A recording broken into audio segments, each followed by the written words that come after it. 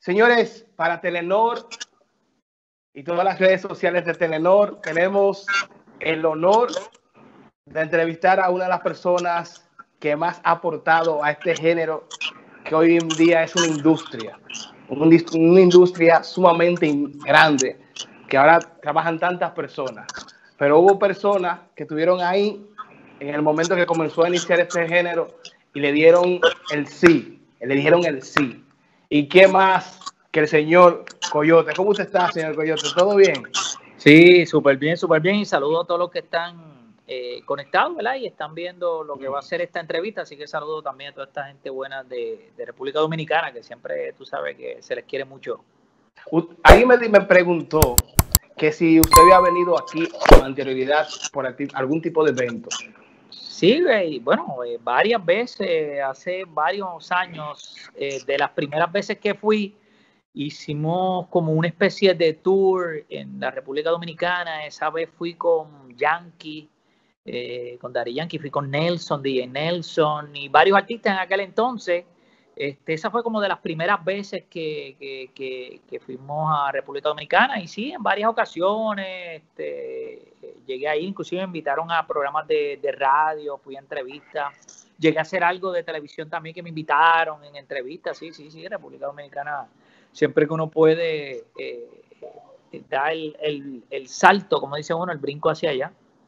Ahora vamos, vamos, para, vamos a darle la historia para atrás. Primero, ah. ¿cómo ¿por qué le dicen el coyote? Esa es una. Y segundo, ¿cómo usted inicia esto de, la locución, la radio y todo eso? Bueno, lo del coyote primero fue algo, como decimos hoy en día, orgánico, porque realmente yo usaba mi nombre eh, y estaba buscando como eso, como un apodo. Estaba prácticamente comenzando en el mundo del entretenimiento y la radio y mm, en, una, en varios programas como que mencioné la palabra coyote este, de, como frase eh, y como que me vi ahí y dije, oye, eso es un buen nombre para ponerme, el coyote, tú sabes, y, de ahí nació este, también esos días que mencioné en el show eh, eh, el coyote, como que era como una frase bien rápida, decía como que el coyote, tú sabes, frases así que uno usa para la radio y para y para los, tú sabes, y para los medios y una persona también me dijo, ah, tú eres el coyote. Y yo dije, ah, pues sí, ese es el nombre. Este, voy a ponerme el coyote. Y ahí me quedé. ¿Cómo comienzo? Pues al principio, eh, después que yo termino la escuela superior en Puerto Rico, estudio locución. Y se me dio la oportunidad, porque honestamente fue así, de como que tuve la oportunidad rápido de haber estudiado locución. Comencé a trabajar en una estación de radio en Puerto Rico, que era de, en ese entonces, balada, pop.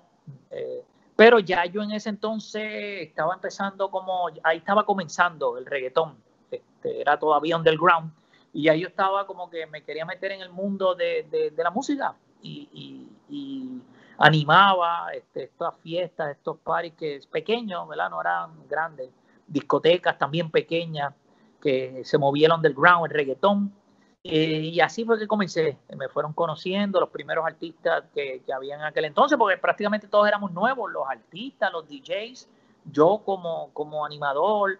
Y así fue que fui entrando al mundo del entretenimiento y obvio al mundo de, del reggaetón. En los comienzos, pues estamos hablando allá para los años, para los 90, que, que fue que, que cogió forma el género. ¿Quién era que se escuchaban Coyote en ese tiempo? En, ese entonces, en ese entonces, pues sin duda, pues tú sabes que el, líder del movimiento, Daddy Yankee, pues sí ya estaba, digo ahí. Eh, pero sí para ese entonces habían varios, Wiso G, Falo, eh, wow, habían varios, Michael y Manuel, este, Frankie Boy. Obvio, en ese entonces era bien fuerte los artistas, pero también los DJs. Los DJs eran primordial, DJ Playero, DJ Negro, Dinois, eh, DJ Chiclin, DJ Eric, la industria, los DJs eran, eran parte esencial, eran como los que primero se llevaban, como nosotros, el, crédito, pero que poco a poco la gente fue dándose cuenta que, que había muchos artistas y los fueron conociendo también, como dije, de Yankee, Frankie Boy, eh, eh, Falo, este, Michael y Manuel, todos esos artistas, Chesina, todos esos artistas que se fueron pegando poco a poco, llevados de la mano de los DJs. El Coyote, la primera canción que, que tú ponías que usted, perdón, que usted ponía en la, en la radio, eh, que era de reggaetón en ese momento, ¿cuáles fueron las que más se podía colocar? Porque algunos eran un poquito fuertes.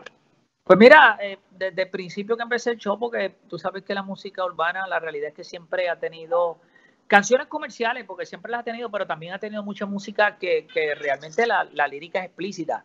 Entonces, eh, realmente los principios míos fue con, con, los temas, pues eso mismo, de Die Playero, de, de, lo que fue Dinois, el DJ Nelson, que empezó a sacar música, que es también uno de los DJ eh, pilares de, de, este movimiento de reggaetón. Eso fueron como las primeras, la primera, diríamos, música que empecé yo a sonar en, mi show de radio y eran los artistas que, que, cuando yo iba a las fiestas, a los parties, como decimos nosotros, y a las discotecas, pues eran los que yo presentaba, a esos artistas y a esos DJs. Entonces, Coyote, en el momento que suenan ese tipo de canciones en la radio, ¿no hubo una presión eh, o una discriminación? Porque era comenzando a sonar ese tipo de música en la radio. Sí, no, sin duda, aquí en, en, Puerto Rico pues pasó un suceso eh, de que en un momento dado eh, la policía detenía a X personas que estaba escuchando la, la, música fuerte en volumen, reggaetón. En aquel entonces, al principio, que era la, transición de cassette a luego CD, pues le quitaba el cassette y se lo confiscaba como si eso fuera algo ilegal, como si fuera droga o, un arma ilegal cosa que no se puede. Un oficial de policía sí podía eh, darle un boleto a, una persona por alteración a la paz, que es tener la música alta, que eso, es normal, pero no le podía quitarle el cassette como si eso fuera algo ilegal y, y confiscarlo. Y entonces eso fue en un momento dado que fue importante dentro de todo, aunque el género no quería eso, pero fue importante porque fue a corte y en ese momento gana el reggaetón prácticamente porque la corte dice eso mismo, lo que te acabo de explicar, que la policía uh -huh. no puede quitarle por ningún motivo un cassette, por más fuerte o explícita que sea la letra del cassette, Exacto. sí puede decirle a la persona o puede darle un boleto por, por lo que le llaman alteración a la paz, que es la música a todo volumen, que molesta, pero tú no puedes, no se podía o no se puede, pero claro, quitarle un, en aquel entonces un cassette o, o luego un CD y, y, como si eso fuera algo ilegal. Y de ahí, eso fue una de las primeras cosas que fue pasando con el género, que aunque, como te digo, no era algo que se quería, pero dentro de todo, dentro de lo malo, lo bueno, ayudó, porque mucha gente empezó a hablar de ese suceso en Puerto Rico y así, pues, esa fue una de las primeras cosas que pasó, que hizo que mucha gente internacionalmente en otros países dijera, mira, hay un movimiento en Puerto Rico que se llama reggaetón, que, que está pasando algo con esa música, explícita, y eso fue uno de los momentos que ayudó también dentro de la situación a, a que el reggaetón se conociera internacional. Cuando, cuando tú dices que había un, o sea, por vía de la policía, tú eh, al principio mencionabas que tu programa era de balada, pop y todo eso. ¿En qué momento tú dices, vámonos con lo urbano? O sea, vamos a hacer algo que sea solamente, vamos a hacer un programa que sea para reggaetón. Bueno, realmente yo trabajaba, como te digo, en esa emisora de balada eh, pop porque fue la que me dio la oportunidad y quería aprender de lo que era radio. Pero realmente ya en ese momento yo lo que quería era eso, hacer un show de, de, de reggaetón. Eh, porque, como te digo, ya yo estaba empezando por los mismos DJ y los artistas en, en el reggaetón. Y ya iba a las fiestas y a, y a los parties, como decimos nosotros. Y era música reggaetón a lo que yo iba. Solo que trabajaba en una emisora de balada pop. Pero luego se me da la oportunidad de ir a una emisora que tenía un programa de reggaetón, pero sonaban rap y, y, y, sonaban reggaetón. Inclusive se llamaba rap and reggae, como, como rap y, y reggaetón. Pero, y en ese entonces pues me dieron la oportunidad, sí sonaban reggaetón, pero no todo. Y ahí es que cuando me dan, me dicen, mira, para que tú seas el animador de este programa, porque sabemos que tú animas fiestas, estás metido en ese mundo de, de la música de reggaetón y yo dije, lo quiero hacer, pero, pero realmente quiero hacerlo full de reggaetón. Quiero que, que, sea ese movimiento que está pasando. Y me dieron oportunidad, me dieron, tengo que decirlo, en ese momento como que me dijeron, pues sí, nos interesa que, que lo produzcas, que, que, que, tus ideas que tú nos estás hablando, lo hagas en un show de radio. Y ahí fue, ahí fue esas primeras ocasiones que, que como que mucha gente empezó a conocerme. Por eso era que estaba buscando un nombre porque realmente no tenía ese nombre, ese apodo. Y ahí, como te dije hace un rato, pues ahí fue que dije, no, pues el coyote. y, de ahí la gente me empezó a decir, ah, mira, el coyote, el del reggaetón. Y de ahí fue surgiendo el, el cómo pues yo quería, ya yo tenía la visión desde que empecé a trabajar en radio, eh, hacer un show primero de reggaetón y en un momento dado cuando la cosa siguió, todavía en los años 90, a finales, pero ya no, yo decía, está chévere hacer un programa de reggaetón, pero ya es momento de que pudiera haber emisoras que suenen o mucho reggaetón o solamente reggaetón. O sea, en ese momento solamente era un programa de reggaetón. O sea, eso de, el programa de usted fue el primer programa de reggaetón. No, eh, eh, bueno, el primer, primer programa de reggaetón no, no fue. Ya eh, hacían, ese mismo donde yo fui, ya lo hacían. Lo único era que lo que yo le añadía era todo el tiempo reggaetón, porque ponían reggaetón, pero lo mezclaban con rap y de momento también con, con a lo mejor hasta música de rap americano. Pues yo quería solamente hacerlo que todo el tiempo fuera reggaetón. Y sí, habían eh, uno, dos o tres programas eh, de reggaetón sí llegaron a, existir antes de que yo empezara eh, el show. Lo único pues que yo veía la visión de eso, de, que quería hacer el programa de reggaetón, pero con visión a que debía haber una emisora que solamente sonara reggaetón, tú sabes, y, de ahí pues fue la diferencia y, prácticamente ese es el, programa desde que lo comencé, que todavía pues lo sigo haciendo, cada cierto tiempo pues tengo como una pausa este, dependiendo si me cambio de estación de radio, pero, pero siempre existe ese programa de, de reggaetón, como, como dice la gente, el programa de reggaetón del Coyote. Pero sí, habían, habían otros show, habían otro show antes. Eh, pues como te digo, la diferencia era que yo quería hacer una estación que todo el tiempo tuviera música reggaetón. Cuando en ese momento, Coyo, llegan los artistas, porque ya que es un movimiento, comienzan a llegar artistas nuevos. ¿Cuáles artistas nuevos tú llegaste a recibir al principio que dijeron, mira, yo necesito eh, una oportunidad para poder para que se escuche mi música y todo eso? Bueno, realmente pudiéramos decir todo, pudiéramos usar la palabra todo, desde el principio hasta el sol de hoy, hasta el movimiento que hoy en día se mezcló de trap y reggaetón, este, aquel momento lo que era el reggaetón. Realmente te puedo mencionar, tú me puedes decir cualquier artista porque prácticamente fueron todos, este, porque siempre, como te dije, yo siempre he, sido 100% reggaetón y entonces pues mi show desde esa época, cuando dije no, desde una vez yo arranqué a hacer el show de reggaetón, estoy hablando año 1995, 1996, estamos hablando hace muchos años, pues desde ahí yo dije no, yo quiero solamente concentrarme en hacer que mi show sea todo el tiempo de música reggaetón. Y, inclusive dije, si voy a otra emisora que tenga música variada, no tengo problema, pero tiene que ser mi show solo reggaetón y artistas urbanos de reggaetón.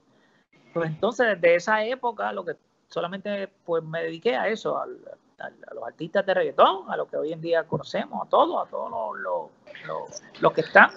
en, el momento, que, estaban eso en los 90, había mucha contra, mucha, muchos versus y, los programas a veces tenían eso de fulano, eh, se tiraba con, por ejemplo, Liti Polaco contra Baby Rasta, Tempo contra Liti Polaco.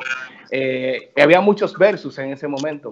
Nunca hubo inconveniente con artistas en ese momento. Bueno, inconveniente conmigo o que pasara. En el programa. Bueno, sí, en el programa y en los shows, porque una vez yo arranco a hacer el, el programa de radio, también llegué a hacer algo eh, como de un programa de reggaetón también de, en televisión. Este, que al principio lo hice en un canal local de Puerto Rico y luego eh, lo hice también en Telemundo Internacional. Ese Jams. Sí, ese Jams, que inclusive mucha gente de República Dominicana y de otros países también me reconocían por eso, porque me llegaron a ver en, este show de televisión de, de Telemundo Internacional Jams eh, perdón que le interrumpa, Goyote. Entonces, la idea de Jan es suya. Bueno, la idea, ellos me la presentan porque yo también ya venía de haber un, hecho, un show local en Puerto Rico que, que gustaba. El primero fue In Your Face, después hice este, otro show, pero ya yo había hecho televisión en Puerto Rico de programas de reggaetón. Cuando hablamos de, para hacer el concepto, que en aquel entonces era Jams, pues ya ellos sabían que yo había hecho un programa de televisión de, reggaetón y por eso me dijeron, mira, nos gustaría hacer algo, pero ya con un giro internacional, que se vea en diferentes países. Eh, y sí, volviendo a lo de los artistas, Por eso te digo, tuve inconvenientes, pero no yo con los artistas, pero en show míos, de, en eventos grandes, eh, situaciones. Ahí mencionaste a, a, cuatro, a Lito, Polaco y Virasti Gringo, por usarlos a ellos de ejemplo.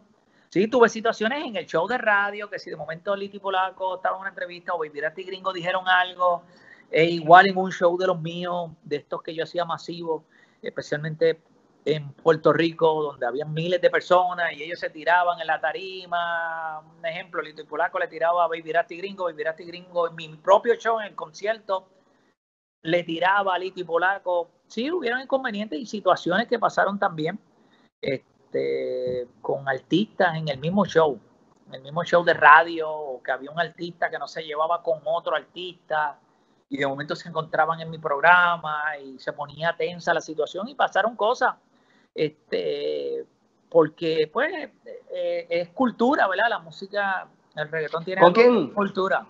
¿Con quién tú, llegaste a tener, que tú recuerdes, una situación que fue difícil? Dice, bueno, se va a salir esto de control en un concierto en vivo.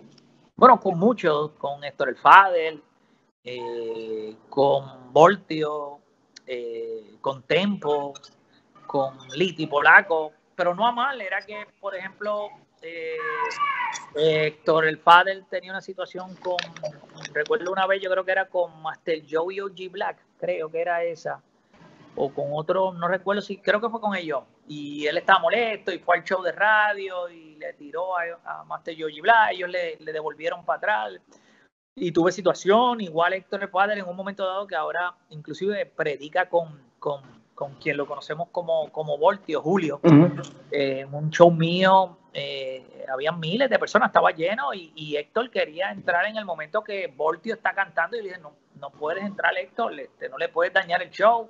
Y él dijo, no, me acaba de tirar en tarima, sí, te espera tu turno. y Pero sí hubieron momentos tensos y con muchos montones de artistas más.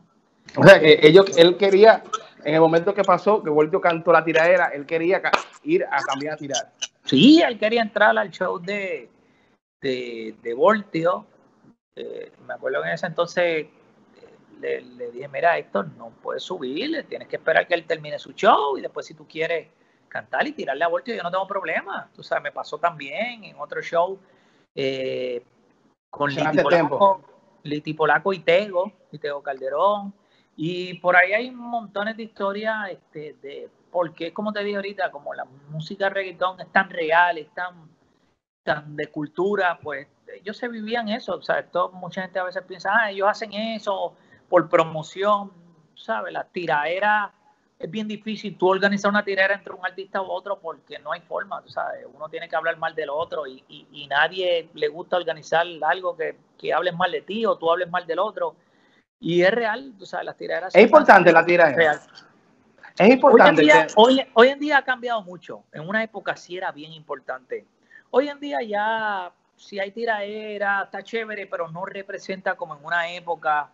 Habían artistas que estaban en tiraera y a lo mejor los contrataban más porque estaban en ese momento calientes, como decimos nosotros, para el público, eh, o, su canción la buscaban más. Hoy en día ya eso no es primordial, sí, es parte de la cultura de, la música, de, de, lo que es lo urbano, pero como antes no es prioridad, por eso tú ves que ya las tiraderas son muy pocas, este, muy raras ya inclusive.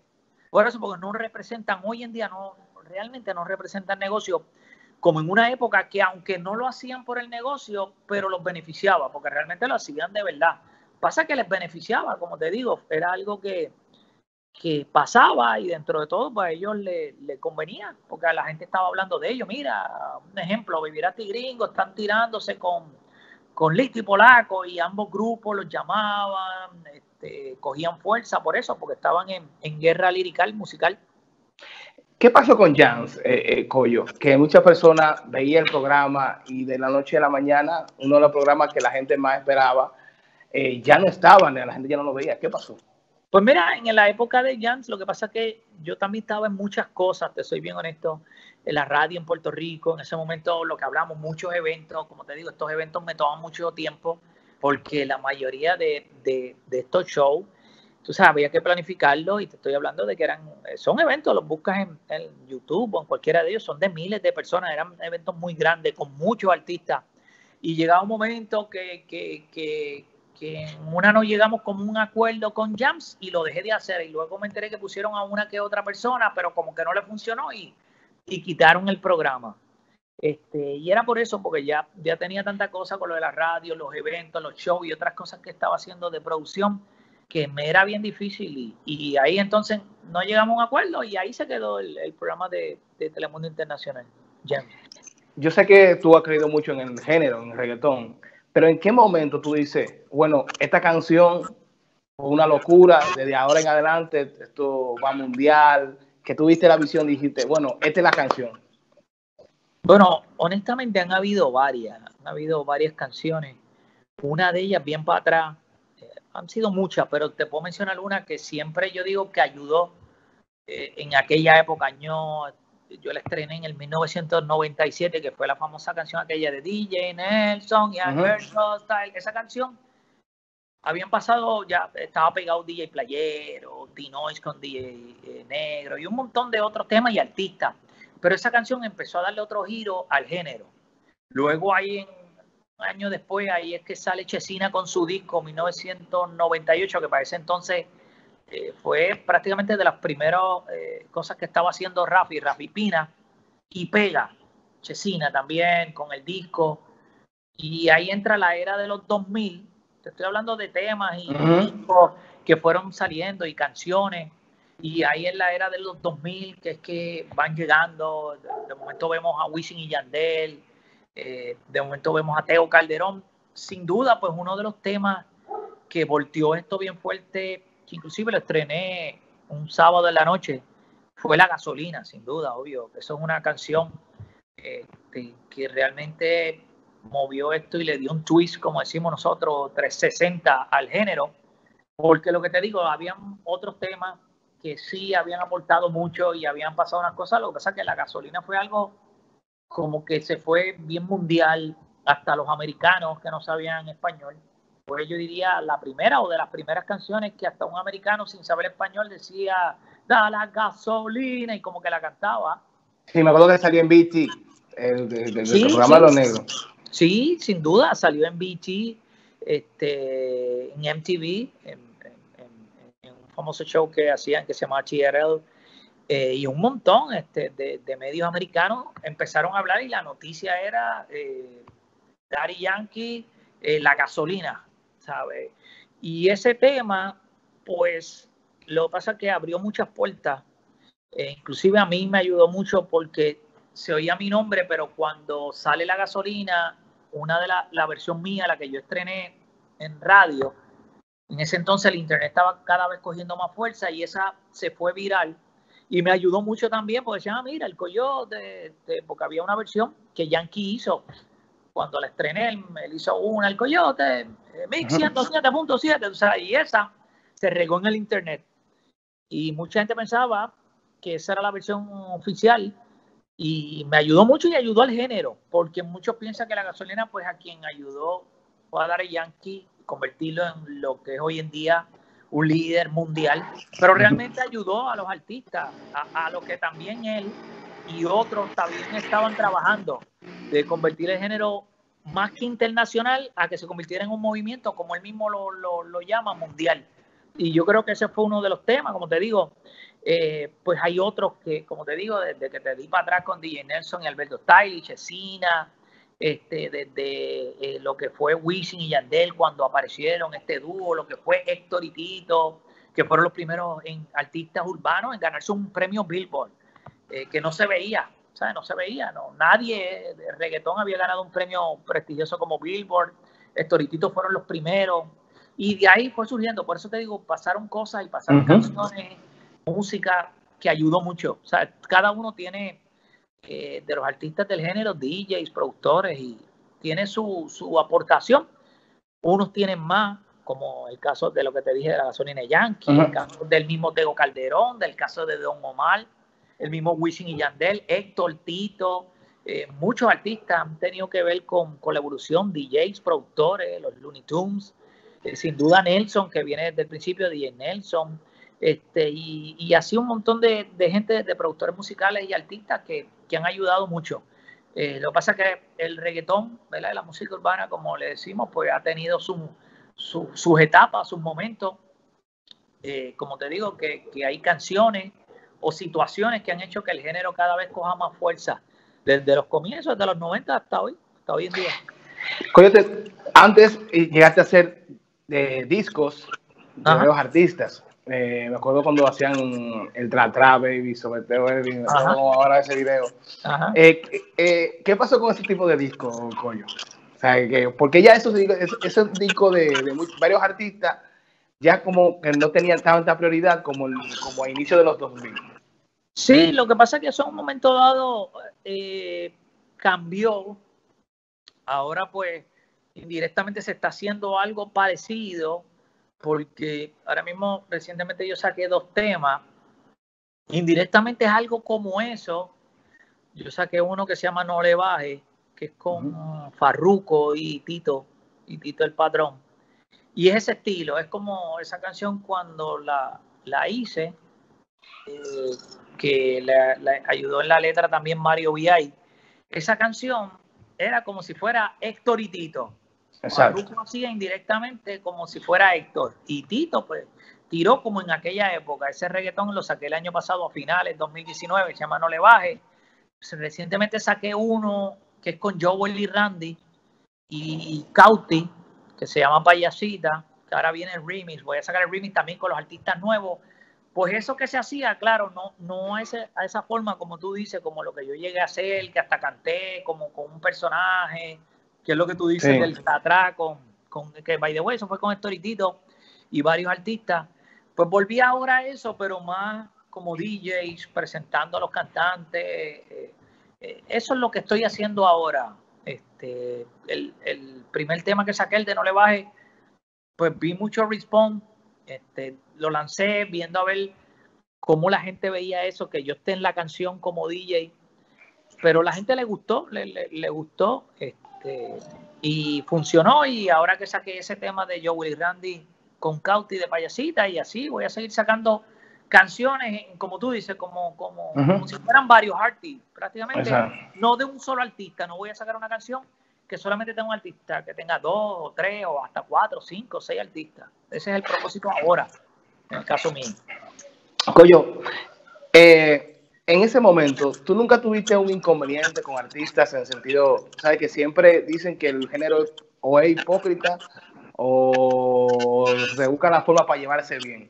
Porque nunca se ha escuchado un inconveniente con, con usted, o nunca se ha escuchado eso, de que tuvo inconveniente Coyo con nadie. Pues mira, eh, acuérdate que la música eh, eh, y los artistas en un momento dado y los productores, pues llevan tanto tiempo que se van conociendo que realmente uno se convierte en amigo. Eh, algunos a lo mejor pudieran ser conocidos, pero prácticamente son amigos. Y decirte que nunca tuvo un inconveniente o que no he tenido, te mentiría, sí, pero nada, nada más allá, porque es lo que te digo, yo también lo veo, aunque es un negocio, también lo veo como si X artista se molestó conmigo o yo me molesté con un artista, lo veo como cuando tú te molestas hasta con un familiar, un amigo, un hermano, un primo. Yo siempre lo he visto así, por eso no lo he cogido personal nunca así de que me, porque digo, bueno, si uno se molesta con un hermano, con un amigo, con un primo, un vecino, pues hermano, porque esto es parte igual, tú sabes, porque eh, los artistas son tantos años y ya uno se conoce, tú sabes. Eh, a veces la gente dice ah, en el género o en la música o en el... Hay mucho hipócrita. Yo diría que es al revés, porque la gente se molesta y yo creo que por eso es que que pasan las situaciones porque se molestan. Eso no es ser hipócrita, creo yo, ¿verdad? Este, tiene su, su, forma, pero sí, te mentiría si te dijera, no, todo ha sido muy bueno. No, no. Eh, aunque siempre he tenido el respaldo de todos los artistas, desde el principio hasta hoy, hasta la nueva generación, que también pues he tenido, porque tengo que decirlo, la oportunidad de, de, muchos de ellos que hoy en día son conocidos, abrirle las puertas.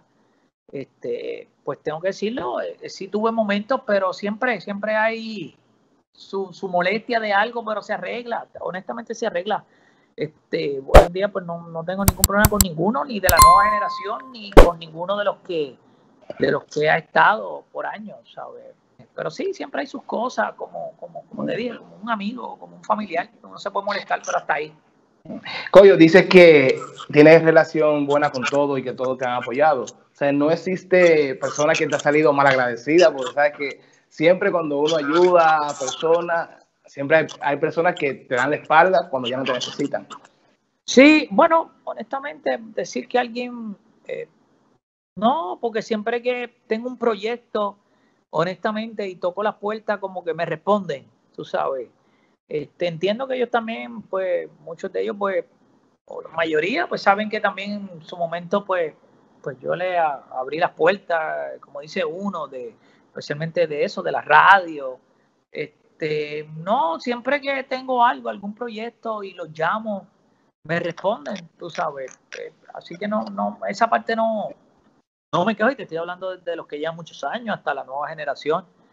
Este, ¿verdad? Porque dentro de todo he vivido todas las épocas y, he visto la evolución porque he estado desde, prácticamente el principio hasta hoy en día que me mantengo en la música, en, la música urbana, este, siempre saco algo, este, busco algo, como te digo, ahora pues estoy en eso también, en, tipo DJ, presentar las canciones, tengo varias que van a salir.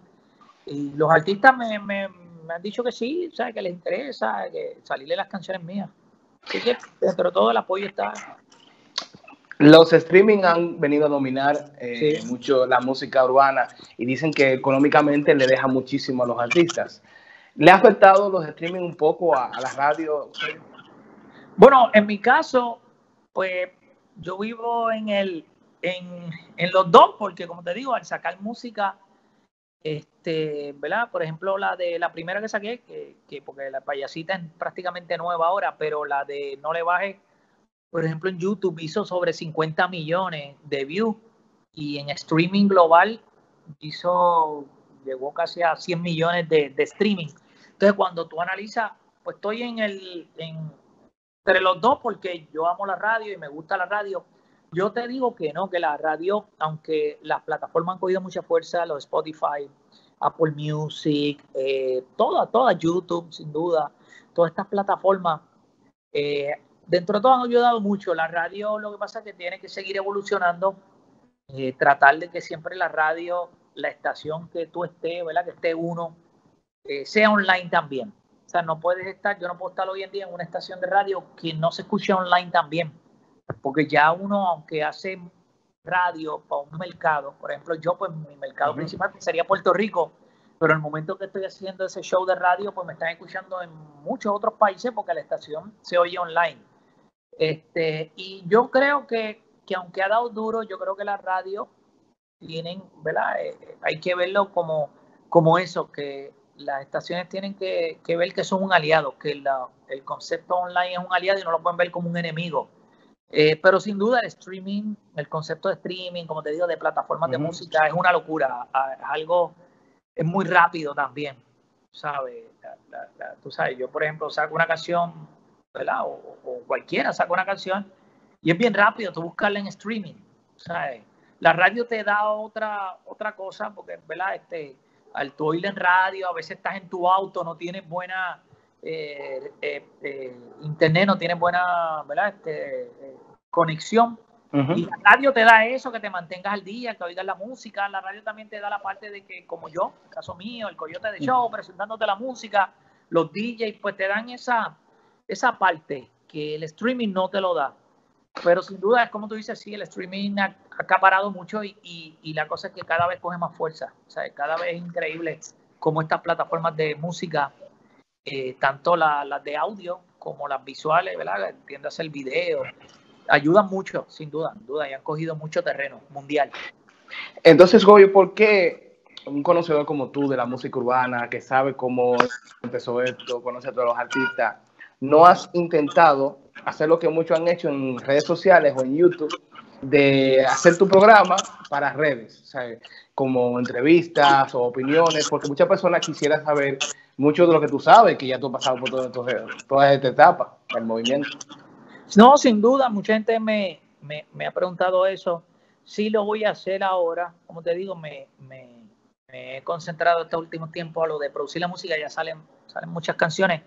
Pero sí quiero, por trato de, hacer las cosas basado en, en que si lo hago, a ver cómo la gente responde. Porque, por ejemplo, eso de la música, que volví otra vez a hacer canciones, como esa que te dije, la primera que saqué a finales del año pasado, la de No le bajes con Farruco. Y Tito pasó por eso mismo, como un comentario como el que tú me dijiste, que varias gente me dice, mira, porque tú no vuelves y haces eso, que tú presentabas como canciones y con artistas del reggaetón. Y de ahí yo dije, mira, yo creo que la gente quiere nuevamente eso, claro, más moderno. Y de ahí nació. Ahora pues sí, mucha gente me ha topado con que me dice, mira, este Coyote, porque tú no entrevistas a los artistas o lo subes a YouTube o a otras aplicaciones. Y sí, estoy trabajando para, pa, pa, obvio, para ahora eh, hacer entrevistas eh, con los artistas y, y, subirlas a YouTube. Claro, mi estilo, pues tú sabes que es más hablar un poco de lo que ha pasado, cómo he estado ahí, pues hay cosas que las puedo hablar en más conversación, porque como en la mayoría de los casos he estado, pues ya no serían preguntas, porque es como preguntar algo que estuve ahí, pero sí es más conversación y eso sí lo quiero hacer porque me gusta, tú sabes, y he visto mucha gente quiere eso, lo, como tú dices, que yo hable con los artistas y hablemos de aquella anécdota, por ejemplo, eso mismo que estábamos, que si no, eh, hablando... No, como la, anécdota, como la anécdota que pasó con Tempo, que hablamos antes de empezar, con, con sí, yo. Sí, con la situación que pasó, que fue bien tensa de, de, de, un problema, que él inclusive lo usó en una canción de él. ¿Qué fue lo que pasó? Para, que la gente pues sepa, porque uno escucha el verso y no, como que, no lo, los que no son de Puerto Rico no saben eh, qué fue lo que pasó. Sí, porque él lo trató de, no hacerlo tan directo tampoco para no. Eh, realmente es sencillo. Tempo, yo lo estaba entrevistando en ese momento en el show de radio y llegó Master Joe.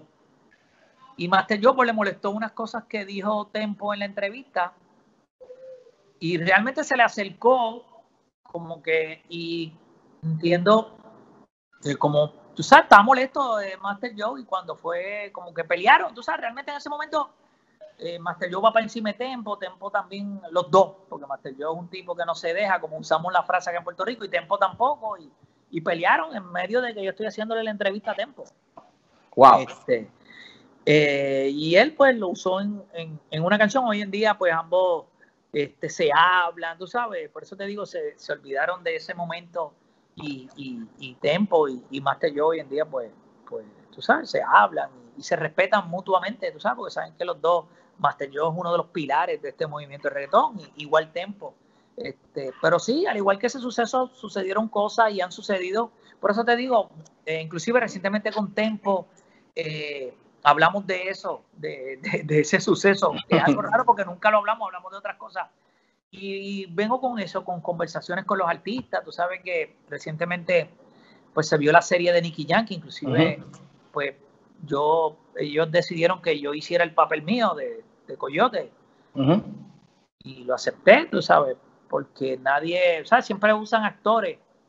Eh, y Jesse Terrero, que es uno de los que produce la, serie, el famoso productor también de, de, video, pues me dijo, mira, ¿qué tal Coyote? Si tú haces tu, tu parte, no un actor, y me pareció bien.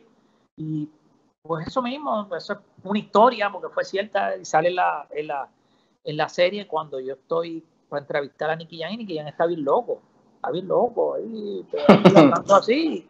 Y eso salió en la serie, eso fue real. Eso pasó un día que fui a entrevistarlo en mi show y, y yo le digo, Nicky, tú estás como que bien lejos, no, estoy bien, coyote, pero sí, estaba, estaba, ahí él mismo, pues tú sabes, por eso él quiso hacer esa serie para, para explicarle a estos jóvenes que, que existe más cuenta con, con, las pastillas y con todo este tipo de cosas que pudiera ser ilegal o, ¿sabes? Que, que tengan mucha cuenta y, y así han pasado muchos sucesos, en verdad que han pasado muchos sucesos, que poco a poco se van a ir contando. Nicky, porque sacó esa parte de la serie, me topado con mucha gente que me ha preguntado, mire, Nicky fue así, bien loco. Y yo, sí, eso fue verdad, eso fue verdad lo que salió en la serie. Así como Nicky Jan existen carreras que pueden contar historias igual. Por ejemplo, vamos, un ejemplo Tempo. Un ejemplo Tempo, dicen que antes de Tempo caer preso era un fenómeno, supuestamente. No, sin duda, Tempo eh, fue un fenómeno y que hoy en día se mantenga y saque música es increíble porque él no estuvo uno, dos o tres años, él estuvo más de ocho años en la cárcel. Es bien difícil tú estar ahí, no sacar música, no poder hacer prácticamente nada y volver al ambiente artístico Tempo es uno de los casos. Que puede hacer una serie. difícil, piensa ver, tú sabes, que de momento tú estés ocho años más o menos, que fue lo que él cumplió en la cárcel, fuera y tú volver otra vez a lo que hace, no es tan fácil. Y, y Tempo lo hizo, sin duda, Tempo puede contar su historia y hay muchos, sí. Hay muchos que, al igual que el caso de Nicky Jan, lo que pasa es que no voy a usar la palabra atreverse, porque hay muchos que...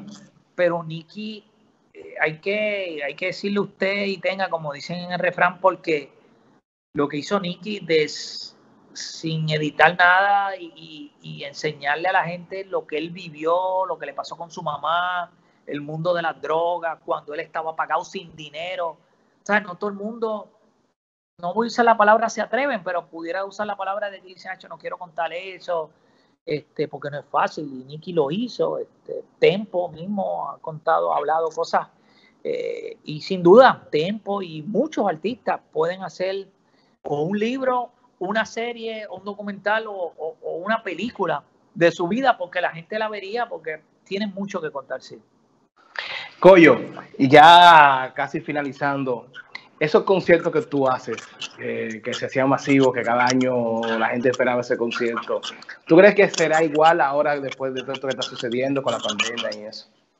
Bueno, eh, claro, sin duda será ya el próximo año, 2021. Eh, sin duda sí, van a volver los shows. Eh, lo más que esperamos es que en un momento haya una vacuna, este, ¿verdad? Porque es lo que la gente tiene fe de que pase de que, de que exista algo que contrarreste, que es lo que está mm. pasando hoy en día, que todavía no hay algo que tú puedas decir, mira, yo me vacunan o, me tomo X cosa y me ayuda a contrarrestar el, el COVID-19.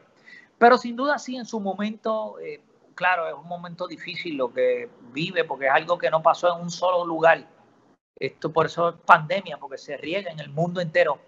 Este, y sí, sin duda en su momento, no sé cuándo, no sé, yo estimo, hay mucha gente que estima para el próximo año 2021, eso es lo que suponemos, eventos masivos, quién sabe, a mediados o a finales del próximo año, pero en su momento sí va a volver, va a volver, este, siempre y cuando, ¿verdad? Como dije, haya una vacuna, hay algo contrarrestar, pero sí, la gente, el entretenimiento es algo que la gente quiere, por eso mismo, porque están tan, tan abacorados del trabajo, o de estudiar o de lo que hacen, que llega un momento que quieren, la palabra lo dice, entretenerse. Y la música, los eventos, los shows, los artistas, eso, es entretenimiento. Coyo, mil gracias, de verdad. Eh, usted tiene muchos datos que uno quisiera preguntarle de tantas cosas. La verdad para mí es un honor eh, entrevistarlo a usted, porque usted es una pieza clave que eh, eso le iba a preguntar. Hay personas que dicen que usted es el padrino de reggaetón. Sí, sí, sí, sí, sí, me han dicho padrino, me han dicho de todo, hasta, hasta, en inglés, el Godfather.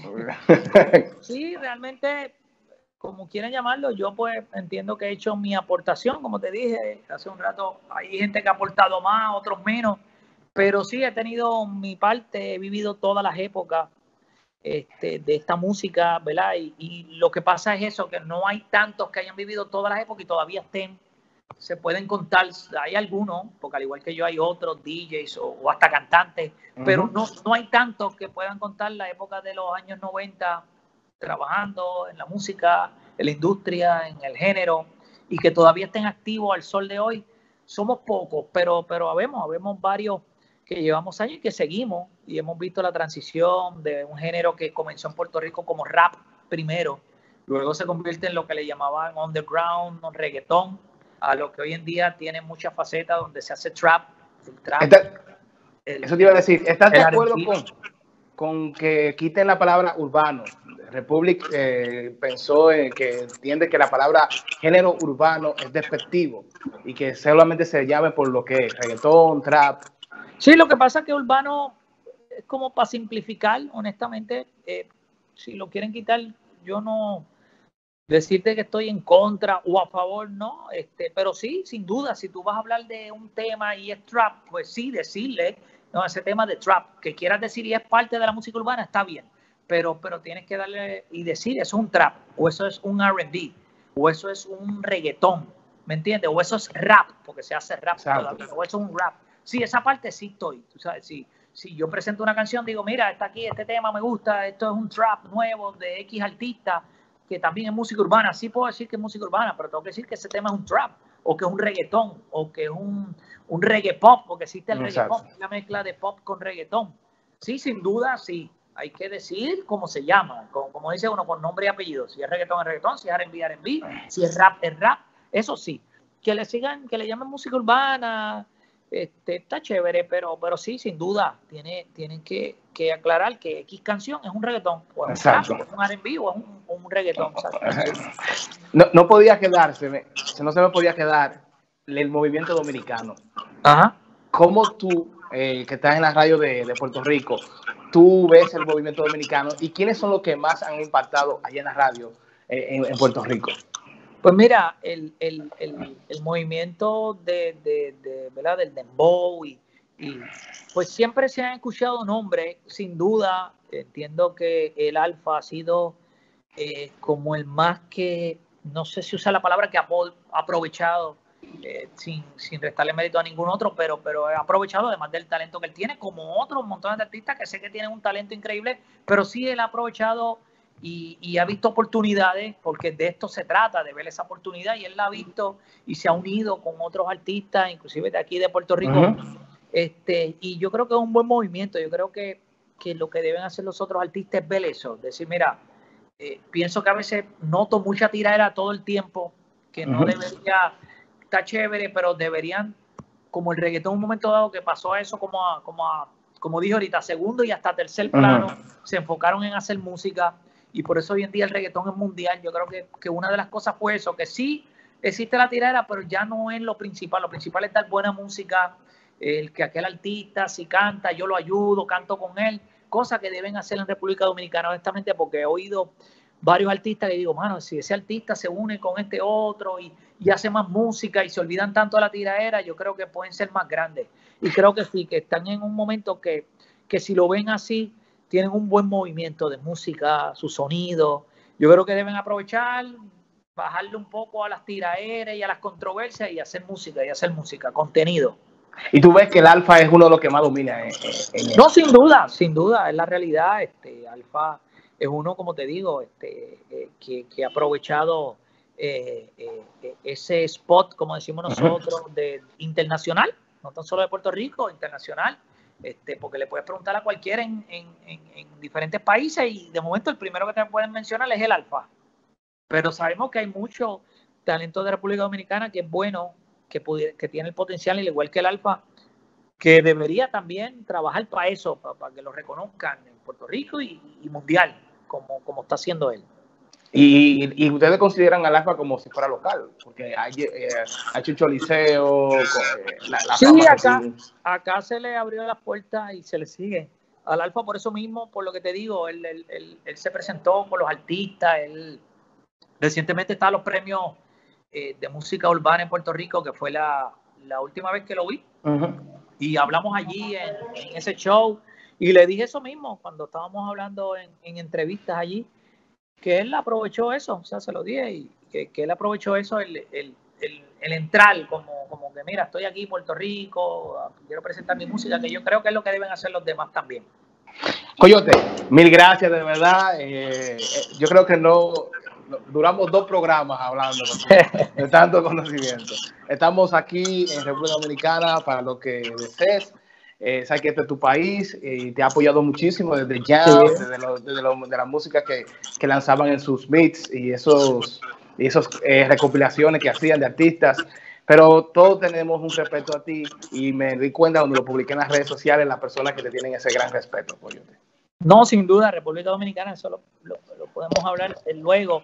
República Dominicana tiene mucha importancia en el reggaetón por, porque si no fue el primero, fue prácticamente de los primeros países que adoptó el reggaetón, que le abrió la puerta a, a los artistas de aquí, a los boricuas. Por eso te digo, desde el underground, ya en República Dominicana sabía que había un movimiento de, música, de reggaetón, de Puerto Rico y y yo creo que pues República Dominicana tiene su importancia. Inclusive recuerdo una anécdota rápido. Llegué y había una persona vendiendo CD en la calle. Y le digo, mira, ¿tienes CD de reggaetón? Me dice, sí, tengo todos estos nuevos. Y me empezó a enseñar recopilaciones que hacían allá. Y una de las recopilaciones era, mira, aquí tengo este. Y yo, ¿cómo se llama ese? No, esa es la recopilación, las canciones del Coyote. Entonces, él no sabía, él no sabía, él no sabía que era yo. Y yo le dije, y se lo compré, le dije, ah, te lo voy a comprar. Sí, este está buenísimo, tiene todas las canciones del Coyote de Puerto Rico. Y yo le digo, sí.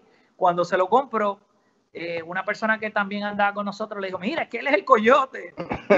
pero, pero, pero fue una, una experiencia que me gustó porque, porque yo decía, mano, mira esto, como, como, como adoptan. Es verdad que los artistas no se ganaban nada, pero eso es parte de, de la evolución. Eso es una anécdota que siempre la recuerdo en República Dominicana. Gracias, Coyote. Así que los muchachos, suscríbanse al canal, eh, vean la, eh, van a ver esta entrevista a través del canal 10 de Telenor y todas sus plataformas digitales. Así que nada, eh, gracias Coyote y gracias a la gente que nos están viendo aquí en República Dominicana y en todo el mundo. O sea, sí, saludo a todos.